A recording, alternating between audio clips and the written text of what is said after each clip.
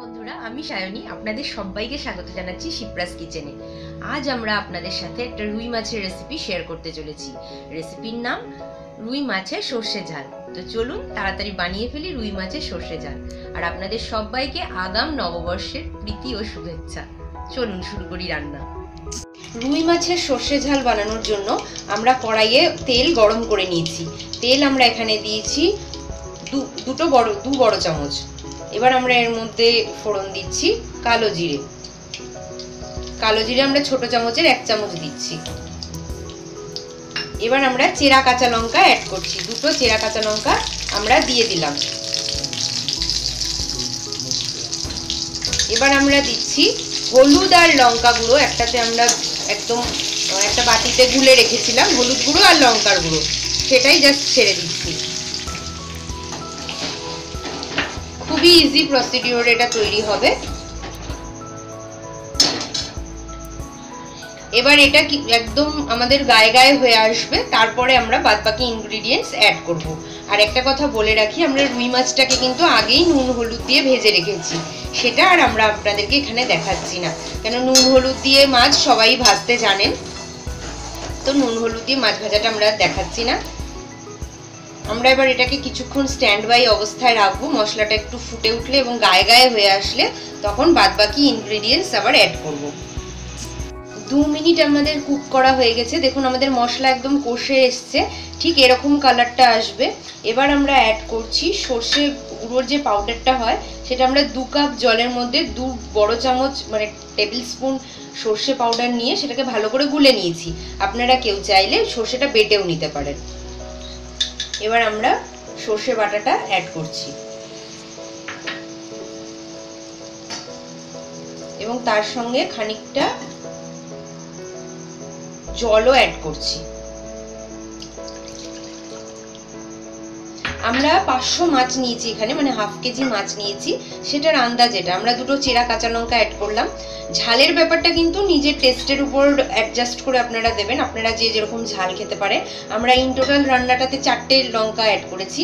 আপনারা চাইলে এর থেকে ছটা বা আটটা যে যেরকম ঝাল খান সেইভাবে কিন্তু লঙ্কা অ্যাড করতে পারেন। এবার আমরা অ্যাড করছি নুন।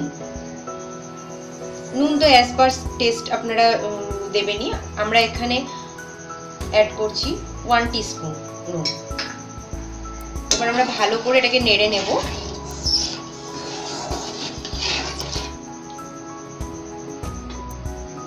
এবার আমরা কিছুক্ষণের জন্য কড়াতে চাপা দিয়ে দেবো বা ঢাকা দিয়ে দেবো। পাঁচ থেকে সাত মিনিট পর আমরা আবার ফিরে আসছি।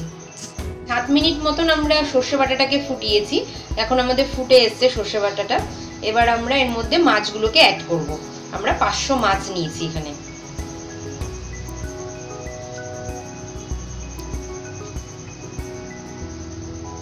মাছটাকে আমরা আগে নুন, হলুদ দিয়ে ভেজে রেখেছিলাম। আমাদের সম্পূর্ণ মাছটা অ্যাড করা হয়ে গেছে। এবার আমরা এর মধ্যে অ্যাড করব একটু কাঁচা সর্ষের তেল।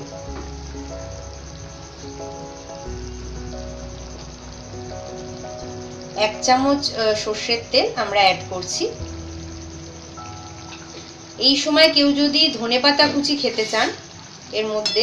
একটু মাছটা যখন ফুটে উঠবে, সেই সময় কিন্তু ধনেপাতা কুচি অ্যাড করতে পারেন।